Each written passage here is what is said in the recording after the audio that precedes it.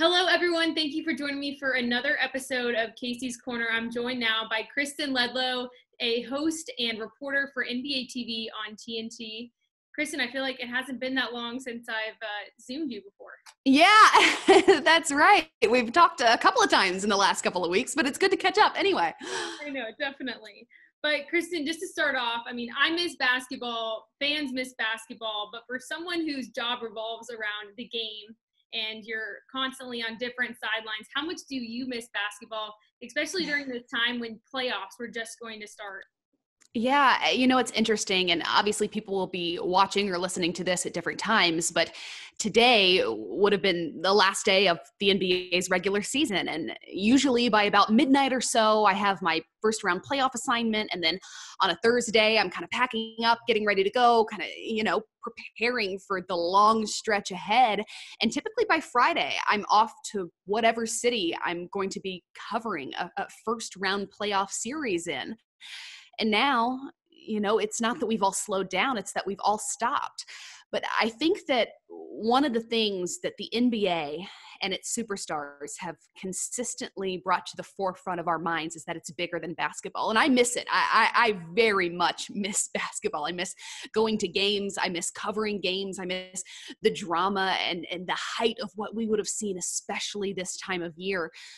But I also feel really thankful to to cover a league that I believe was at the forefront of necessary steps to take during this global pandemic. The first to kind of stop and say, you know what, this is bigger than basketball. We're going to stop. We're going to put this on hold because not only are our players our priority, but the fans who would gather in the stands, the broadcasters who would be on the sidelines or in the booth. And, and so I feel thankful in these days that there wasn't the pressure to continue solely to fulfill a role but at this point has been deemed non-essential for good reason you know but instead that we've had the opportunity all to come together even as we've been you know physically mandated to stay apart and and to really witness great leadership um, to witness great generosity um, I mean, just what I've seen from the NBA and from, you know, my network at NBA TV and TNT, and we've seen the same of others like ESPN and ABC, what I've seen of the leadership there and the generosity there and the willingness to slow down, to shut down, to put others first, um, has, yes, it's made me miss basketball, but it's also put it into perspective. Yeah, I love that. it, it is more than basketball, and that's something – it's hard to hard to think of right now when we all miss sports, but that's the truth of it, and we're all kind of coming together during this time. But from this season, what were some of your favorite? Oh, that was my cat. oh, that's so cute. No, I love that. I always like every time that we're doing our podcast, you'll hear in the background like, and it's like my cat, and I'm like, nothing, nothing's Wait, going on over here. Yeah, magic, magic. And mine's Dirk. I think I told you that last time we talked. Yes, that's very, very cute. I love it. Um, but what were some of your favorite storylines from this season? And when you are a sideline reporter, what are the ways that you do get storylines and find out how to get stories? Yeah, no, that's a great question. Um, because the preparation is very different as a sideline reporter that it is for perhaps if you're calling the game play by play or if you're serving as the broadcast's analyst. Um, and I tend to well, I look at all different kinds of places uh, for stories to cover on our broadcasts. And I actually have notebooks full because I'm still one of the old school reporters that writes everything down. Like nothing is typed up nothing is saved. Am i right you know I, I, have a notebook with my handwriting full of notes that i've made at practices and shoot arounds and and pregame and postgame conferences. And so goodness i, I find stories in a lot of different places. Uh, social media can feed a great deal of those kinds of stories. Um, things that are said in practices i think it's hugely important that you know if you are going to serve as a sideline reporter on these broadcasts to be there as often as you can. You know, I go to their practices in the mornings, um, especially when you play, cover a playoff series. You know, we're talking about the playoffs that would have been, you know, right now. Um, being there day in and day out, a lot of the stories tend to simply unfold themselves. Um, but you know a lot of that is is the relationships that you build with the franchises with the coaches with the players um, their willingness to be able to tell you stories that you want to tell but like i said i mean i've got notebooks full of untold stories from the sidelines which maybe now that there's nothing really going on maybe i should tell a few of them, you know, or, or publish yeah. them. And so I don't know. I don't know. I don't know how many are still going to be relevant, you know, once they're no yeah. longer used in a game broadcast. But but there's so much preparation that goes into just you know a few of those hits from the sidelines. Um, mm-hmm. but I try and look, you know, for a lot of different in a lot of different places for a lot of different kinds of stories. Um, so that no matter what goes on in the game, because the game is obviously going to dictate the broadcast, that I can be ready to contribute in some capacity. Yeah, that's awesome. And it's crazy to hear so many sideline reporters um, at the network level who prepare so much for the, these games and a lot of the storylines you don't even use because, yeah, you know, because you only have a few hits. But but you were a college athlete. I grew up playing basketball. You grew up playing basketball. So I feel like we both have that passion for basketball. But right now for you um, in your journey, how did playing playing basketball help you now as a sports broadcaster and someone who covers basketball? Yeah. Um, you know, first and foremost, having played basketball for the entirety of my life, uh, it helps you just speak the language of the sport you're covering. You know, um, I could cover other sports because I watch other sports and because I've learned them and know them, but I don't know them the same way that I know the game of basketball because I fell in love with it from the time I was eight years old. Mm-hmm. So being able to fluidly speak that language, um, to be able to to acknowledge what's going on in front of you and be able to formulate a question that can help further the story of the game that you're covering. Um all of that plays into it. And i think absolutely like i said you know i could cover other sports and i think people who who didn't play the game of basketball could cover basketball games as well. But i think there's something unique about your perspective in the coverage of the game when it's a game that you've always played that you've always known and that you've always loved it's something that certainly helped further my relationships with other players very early on both in the NBA and in the WNBA because there's a mutual respect that you know you haven't just watched this game you know this game you know? And so a lot of those relationships that I formed very early on came from from that. Uh, you know I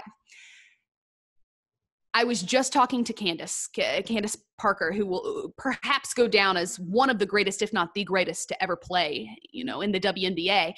Um, and she and I were, were reflecting a little bit on just where basketball has taken us. You know, it's taken her all over the world you know and and everything that i have and given life is as i've said much bigger than basketball but everything that i have right now stems from that love you know that that was honed from the time i was a very little girl and so yeah i, I mean i credit more than i can quantify to the game of basketball.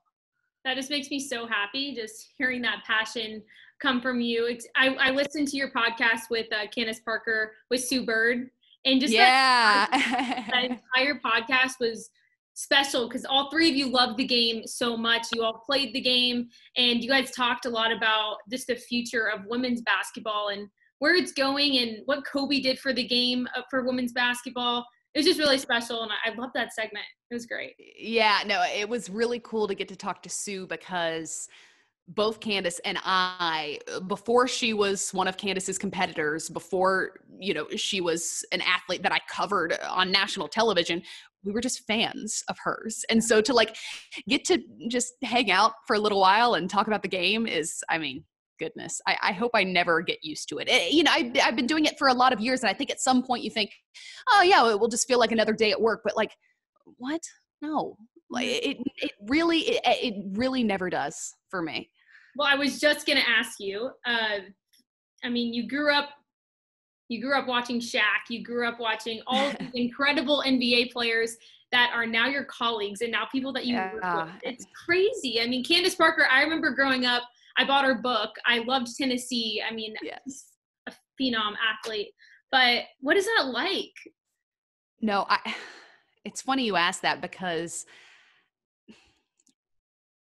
I don't even know how to like how to sum it up properly to like convey how truly cool it is to me. You know, I mean, like it just really is that cool to me. Like a few years ago, I was just psyched like to get to meet Candace Parker. Like I can't even believe that I get to meet her. I'm just such a huge fan of her. Like she's she's just the coolest. I may be overusing the word cool here, but it is just it's unbelievably so cool. cool. to me. You know, that now it's like one of her actual job responsibilities to talk to me regularly is again the coolest.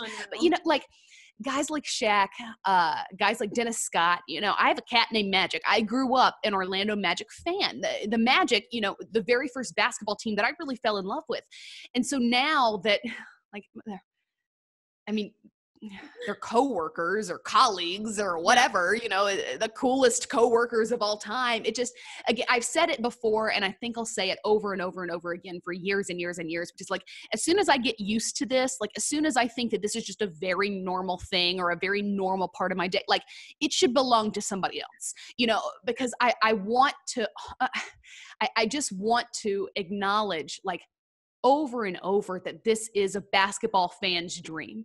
And the day I stopped becoming a fan, the day I stopped being a fan, the day that I stopped like realizing that this is is there another word than cool that I can use? cool. Because I just don't think, I mean, goodness. Awesome. Like, as soon as I, yes, all of those words, yeah. as soon as I stop thinking that this is that, then somebody else should do it. Because this is every bit of that. This is every bit of growing up and falling in love with a game, everything that you hope that it's going to be on the other side.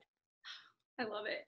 But the TNT crew is just unique and it's special and it's funny and yes. it's not a traditional broadcast. And I think that's why a lot of people resonate a lot with the TNT crew from the pregame shows um, to you on the sideline. I mean, just all the above. Everyone on that broadcast has a unique personality and just, and they make it fun. They make it conversational and I when you watch it, you feel like they're your best friends. So yeah. I think something that's really special about that crew for sure. No, I yeah, I, I feel the same way. I remember my first day, my first night, um, actually on air on TNT, and it was to plug inside stuff. Um, we were bringing inside stuff back to NBA TV, and they were going to have me on inside the NBA to come, like, you know, talk about inside stuff. And well to to challenge Sha- Shaquille O'Neal to a, a, free throw shooting contest, and and I'm like, what? I couldn't believe that. Uh, first of all, I was allowed in the building. Uh, second of all, that like when I walked in, that before the cameras were rolling, when the cameras weren't, like uh, they're exactly who you think they're going to be. Like they're exactly what they look like they're going to be when you watch them on television and that is undoubtedly the coolest part about working on tnt is we're given the freedom to to be entirely ourselves um, and those guys i think have, have redefined what a sports broadcast should even look like yeah. because they never really even acknowledged when the camera started rolling you know? Like it's just this is who they are. This is what they would be talking about anyway. This is the way that they actually get along or don't. And you get a chance to see that and it makes you want to welcome them into your home. It makes you want to welcome them into your living room every thursday night or throughout the entire stretch of the playoffs.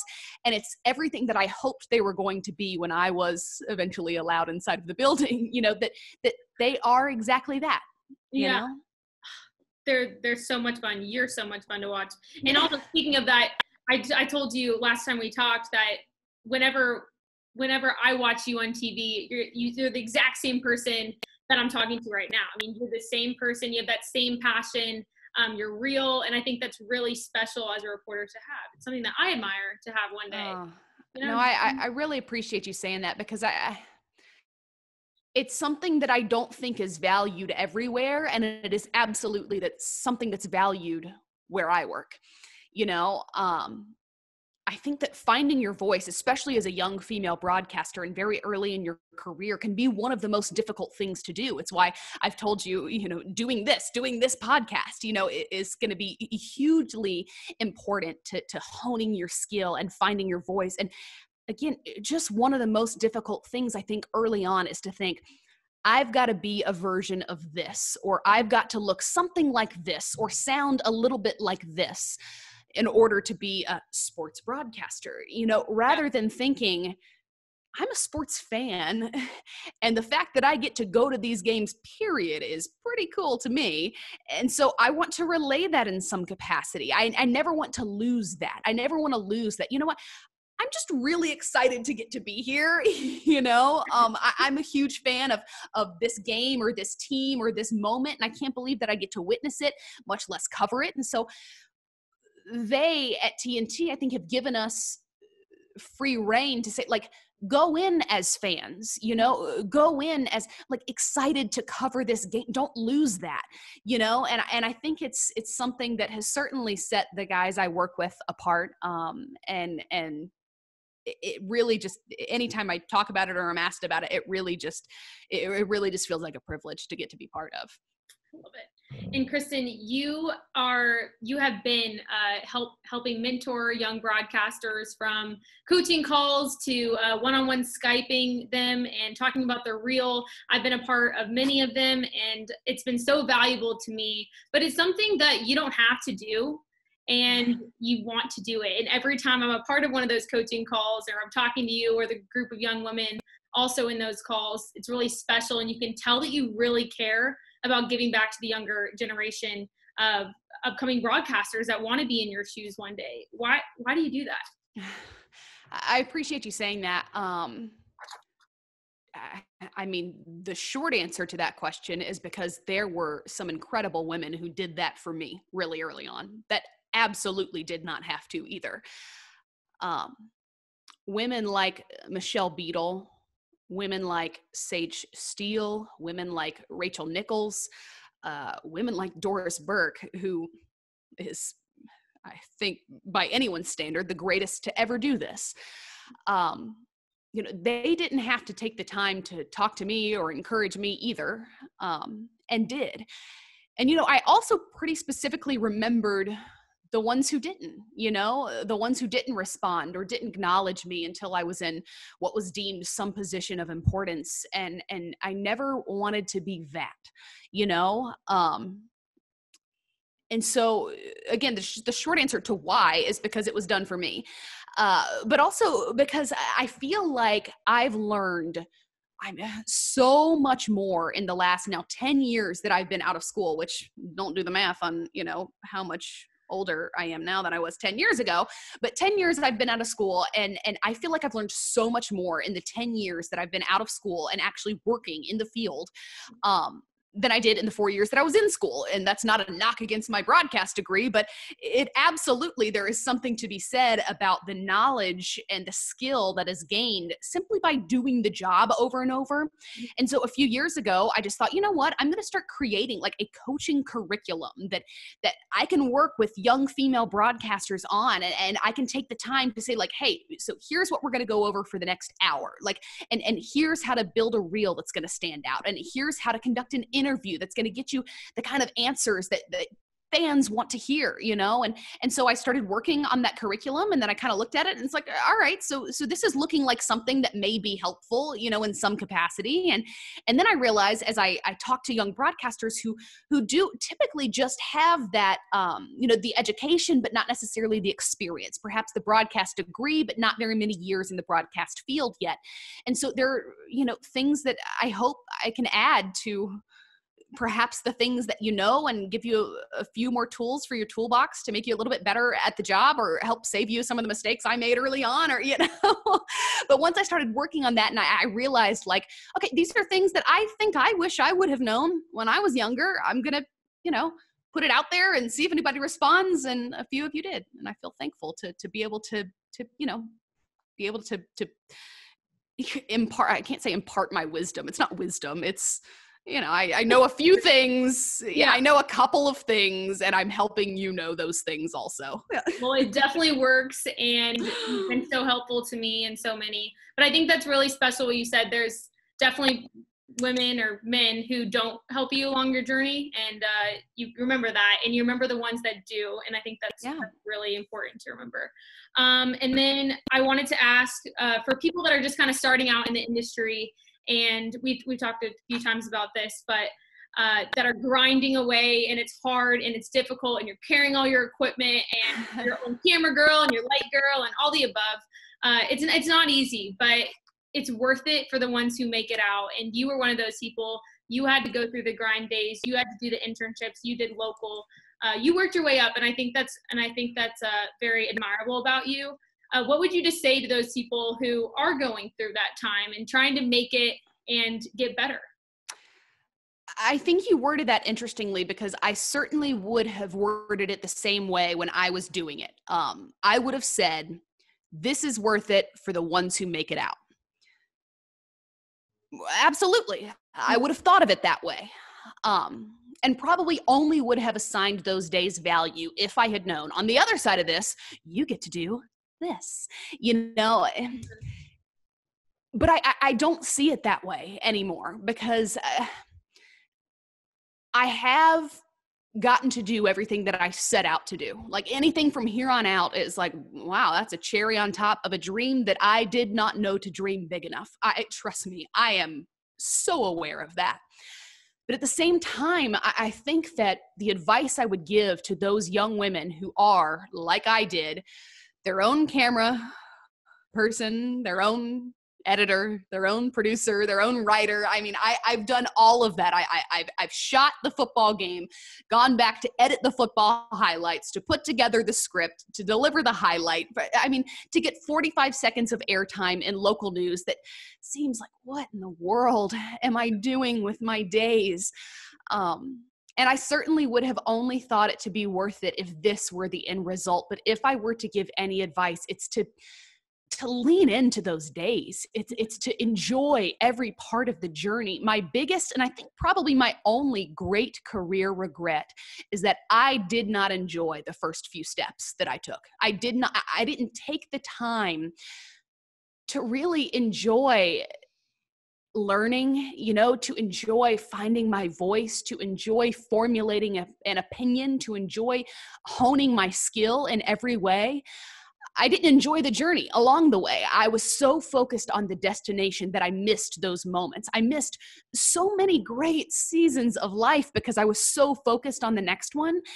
And again, that's not only the advice I would give to the young women who are doing that now, but it's something that I think undoubtedly these days should teach all of us is that even the most certain, what we deem to be certain aspects of the lives we live and the careers we're pursuing are entirely uncertain. So like take the time to to actually soak in the season where you are you know not a season of basketball i'm referring to i mean a season of life you know and and when you get to where you were trying to go i think that it will make the entirety of that journey far more enjoyable than if you're only focused on where you think you're headed. Preach a lot of people needed to hear that. Oh, I did it the wrong way for a long time, you know, and I would have needed to hear it also. Yeah. I love that. Okay, I have some rapid fire questions you can answer quick. Um, okay, so favorite player ever? NBA. Kobe Bryant. Best part about a basketball game, or actually, best part about the sport of basketball. Hmm.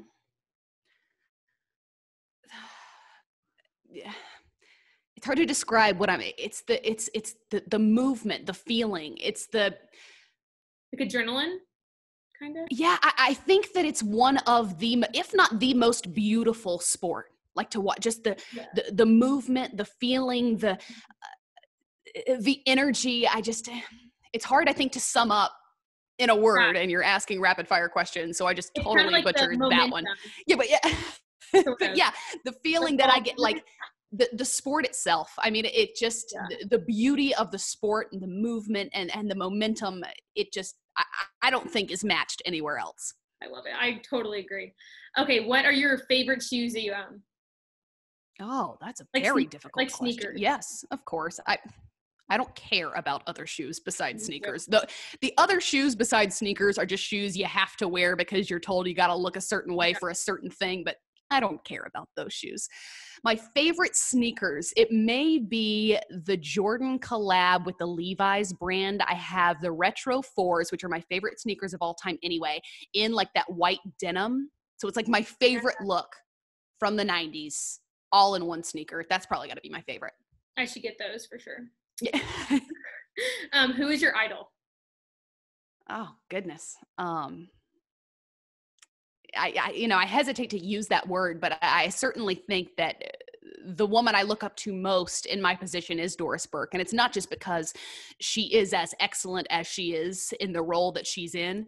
Um, it's because she was the first and the only woman in her position for so long and still took the time to turn around to make sure that those of us behind her were equipped to continue moving forward. And I just, it's a rare rare quality.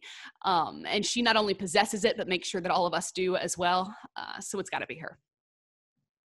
Um, what are you binge watching on Netflix? Okay, so you know what I just binge watched this week, but they're no longer on Netflix, and apparently they were for a long time, and I missed them being on Netflix, but I had never seen I know it sounds crazy. I had never seen Harry Potter, not any of them. Okay. I haven't either. I haven't either. No, I, well, so when I was thinking, like, all right, we've got like eh, not just like hours to fill, like weeks to fill, you know, and and there's no basketball games to watch. There's no, well, there's no really anything, you know. And so I thought, all right, so what are some of the things that I missed out on? And I thought Harry Potter, Game of Thrones, and uh, what was the other thing? Oh, The Lord of the Rings. Mm-hmm. And I, in the last week, have watched every single one of the Harry Potter movies. And I know, given I'm like, I'm not just like a year late, I'm like 20 years late to this because I believe that Harry Potter is actually my age. So like these have been around my whole life. um, but I cannot believe that I missed them. And if you missed them, I cannot recommend them highly enough. Okay. Like the, I, I am still speechless. It's been three days since I finished the series, still speechless. Okay, then I need to watch it. Actually, all three of those I have not watched. So yeah, I'm gonna I'm gonna watch the others now too. Yeah, I, I'll I'll start on the others now too. But but Harry Potter was unbelievable. Okay, good to know. I will definitely watch it. Okay, and then favorite sports movie. Space Jam. Oh, duh. And you're gonna be in the next one too. You talked about. Well, I can neither confirm nor deny well, if you are, heard. I'm going to be very excited, and if you're not, I'm going to be really disappointed, and I'll probably have to. um, favorite sports book. Oh, that's a great question. Um, I've got a couple, but I think Bill Simmons' Book of Basketball is my all time favorite.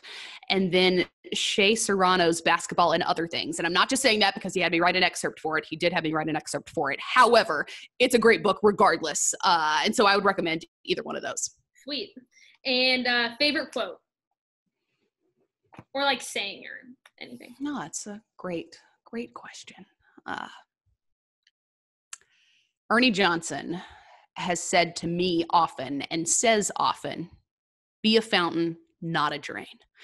Essentially, contribute more than you're taking and leave places better than you found them. And he is the perfect embodiment of that and challenges all of us to be that as well. And so I think that would be my favorite. That's great. Okay, and then a few fan questions just to end this. Um, what is what's a challenge in this business that you didn't expect and how did you overcome it? Man, I mean, a lot of the challenges that this business presents, I don't think are expected because they're not things that we're taught to expect. I think from the outside looking in, I certainly would have thought, and I think a lot of people think, it's a lot more glamorous than it is. That perhaps I've got a team of people that are making me look the way that I have to look on TV, when in reality, it's typically myself putting on makeup and trying to curl the back of my hair in a very dimly lit bathroom in the basement of an arena. Uh, so, you know, again, it's it's none, but I don't think anything ever is exactly what you think it's going to be. Hmm. Um, but goodness, I mean, the challenges I, I think just uh, the beauty of uh, uh, of fighting for something for anything you expect there to be you know a handful of obstacles along the way um and i almost hesitate especially when i'm asked by young female broadcasters to even say them because it's like what in the world do i have to complain about? Truly you know and, and you're going to figure it out along the way. You're going to figure it out in your own way. Mm. um but I think that, I mean, goodness, the the the difficulty of any challenge that has come to my uh, come my way in this industry i think it cannot possibly meet the beauty of the days that I, have experienced because of this game and because of this role. So again I, I don't even think it's worth it's not worth dwelling on them i love that um, and do you ever get nervous when you go on air still and if so, oh yeah, how do you deal with that? Yeah. Oh no, that's a great question. Um, all the time, and, and people ask me that as well.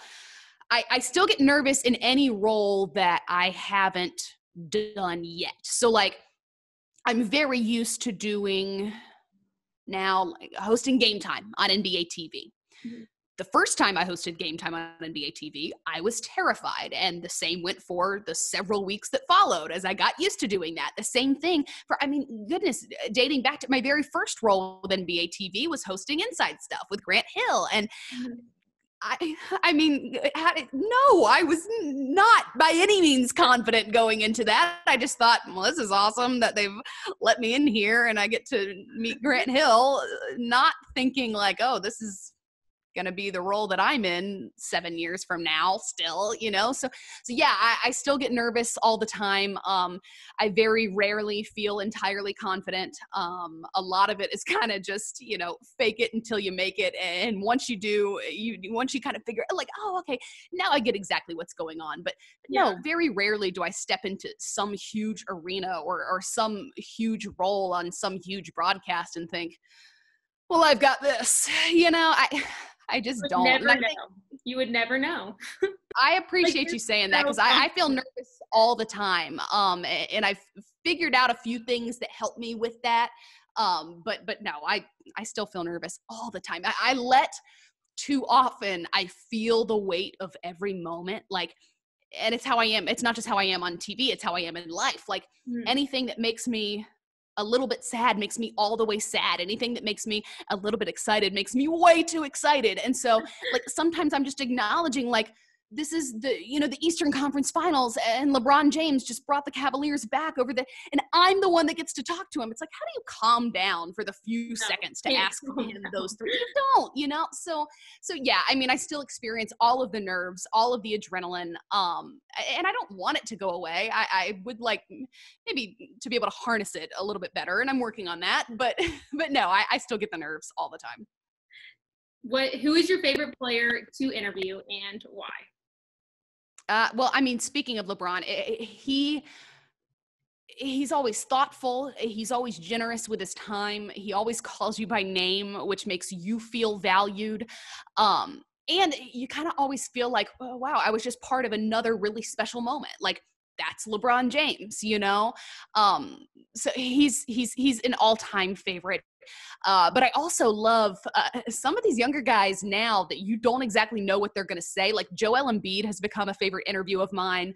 Uh, Draymond Green is a favorite interview of mine as well. Uh, I just kind of like the not knowing like this could go any direction and you're going to determine that and you know I, I, I like guys like that who just let their personalities shine and then last question what is your favorite memory from your time with nba tv Oh goodness, that that is an impossible question for me to answer. On like a favorite memory of goodness, this has been now 7 years of my life and and so it has been longer than anything I've done in my life. You know, I wasn't in elementary school for seven years, or middle school for seven years, or high school, or, or college, or in any of the jobs that I've ever had. A seven year stretch is the longest time that I've ever consistently done anything in my 32 years on this planet. So, to try and sum it up, I, I mean, goodness, or to pick a favorite moment, or even as you asked about, you know, the hardest moments, I mean, it's given me everything good that is in my life is is a credit to falling in love with this game when I was a kid and just pursuing that passion as an adult. And so I man, a favorite moment is just I don't know that I can answer that one for you. okay. I sincerely I apologize. No, that, that you can't pick one. There's too many good ones. That's a good thing. Yeah. But thank you so much for joining me, Kristen. I really appreciate you and your passion and uh, thank you for being a trailblazer for all of us. Oh, thank you for saying that. And thank you for having me. And you look, by the way, a lot better than I look a month into this quarantine. So I need to know what's going on with your hair and makeup situation because I cannot seem to look nice no matter how hard I try in these days. So well done. it's all my local news coverage in my living room. well my- done. Yeah. but thank you. It's great to see you. Great to talk to you. And we will talk soon. Of course, anytime.